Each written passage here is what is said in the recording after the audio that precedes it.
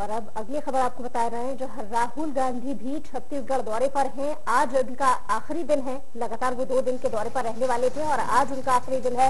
वो आज दुर्ग और बिलासपुर के दौरे पर रहेंगे।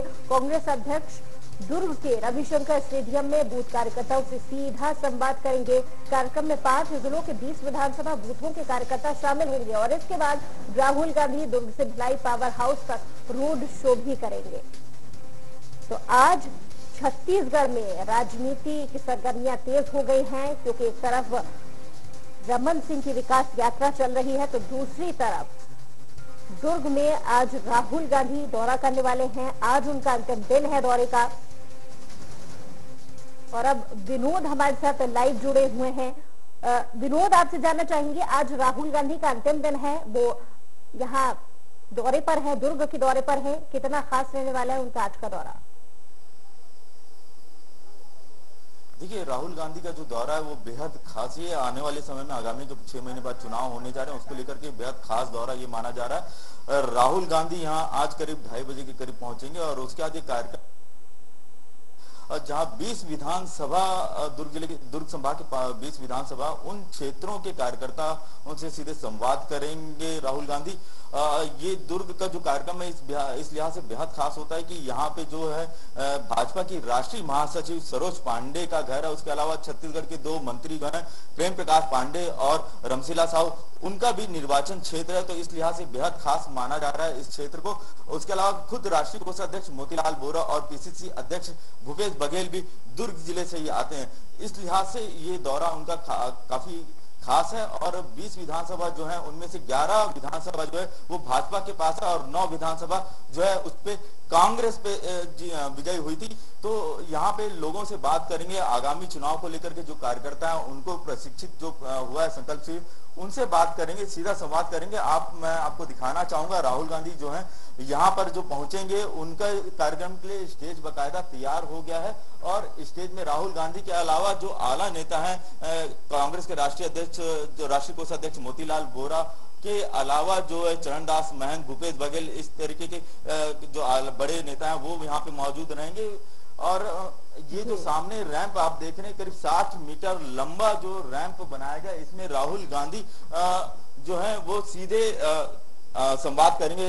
जो कार्यकर्ता यहाँ पे आएँगे, उन कार्यकर्ताओं से सीधा संवाद करेंगे उसके लिए 60 मीटर लंबा रैंप तैयार किया गया। सुरक्षा की कड़ी दृष्टि से, लिहाज से, सुरक्षा के लिहाज से यहाँ पे बड़े पैमाने पर सुरक्षा बल यहाँ पर तैनात किए गए। हमारे साथ जो दुर्ग के संवाददाता है, चंद्रकांत डांगर, वो भी मौजूद है। वो बताएँगे कि राहुल गांधी का जो आज का कार्यक्रम है, उसको लेकर के किस तरीके की तैयारी की गई। चंद्रकांत, बताएँगे राहुल गांधी जो आज आ रहे हैं, उसको लेकर के किस तरीके की यहाँ पे तैयारी की गई है, कब वो पहुँच रहे हैं और क्या क्या उनका कार्यक्रम रहेगा। देखिए विनोद, मैं आपको बताना चाहूँगा कि राहुल गांधी लगभग सवा दो बजे के बीच यहाँ पे बटालियन के हवाई वहाँ से सीधे दुर्ग, ढाई बजे लगभग रविशंकर स्टेडियम आएँगे।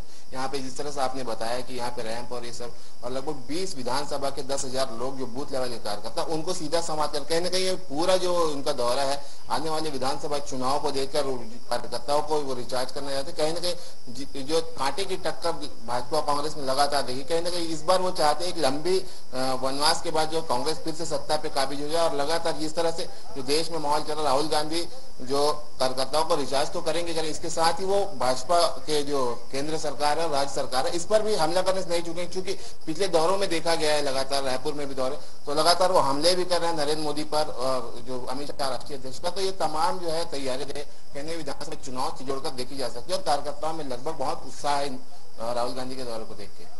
जी जैसा कि चंद्रकांत बता रहे हैं कि काफ़ी उत्साह है, यहाँ जो कार्यकर्ता हैं, उनमें कि राहुल गांधी आएँगे सीधा उनसे संवाद करेंगे उनसे जान जानेंगे कि किस तरीके के यहाँ से जो कमियाँ हैं जो उनको बताएँगे कि किस तरीके से तैयारी करना है प्रशिक्षण दिया गया है कि कैसे जो है आगामी विधानसभा के लिए उनको तैयार रहना उसके बाद जो राहुल गांधी है वो एक मेगा रोड शो करेंगे काफ़ी लंबा रोड शो होगा।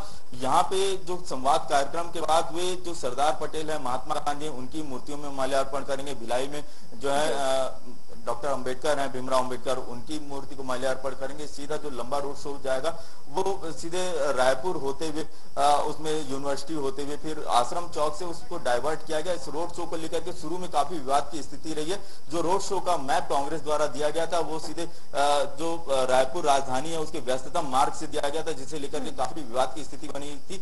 बाद में भी प्रशासन और कांग्रेस के बीच जो बातचीत हुई, उसके बाद बीच का रास्ता निकाला गया और जो रूट है, उनका आश्रम से डाइवर्ट करके पुरानी बस्ती होते हुए इस तरीके से लंबा रोड शो करेंगे। इस दौरान राहुल गांधी जो है, यहाँ पर कांग्रेस के जो आला नेता है, उनसे भी बातचीत करेंगे। जी। बिल्कुल तो कुल मिलाकर पूरी तैयारियाँ हो गई हैं, सुरक्षा की और उनके स्वागत की, और बड़ी संख्या में लोग भी मौजूद रहने वाले हैं, ऐसी उम्मीद की जा सकती है। चलिए, तमाम जानकारी के लिए शुक्रिया।